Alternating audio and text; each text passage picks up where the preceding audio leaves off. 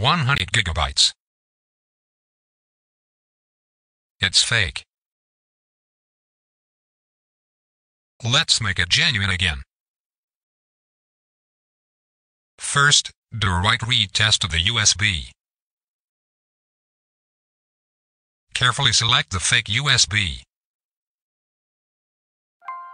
Because all files on the chosen drive will be erased.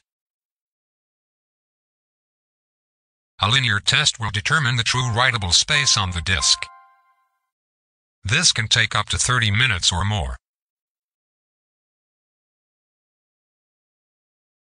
Once an integrity error is encountered, we can find out the true space of the drive.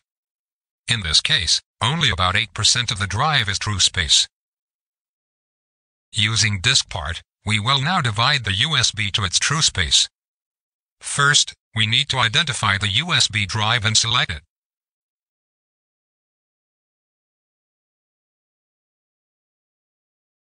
Make sure to see it selected in the list of disks. The asterisk indicates that it is selected. Once it is cleaned, all files and partitions are deleted.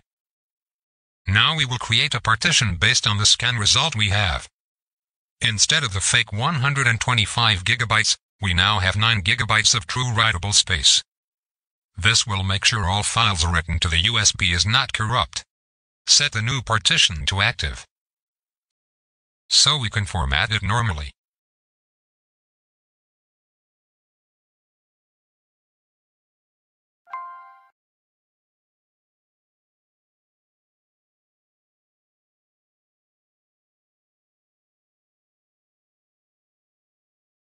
Now the fake USB is genuine again.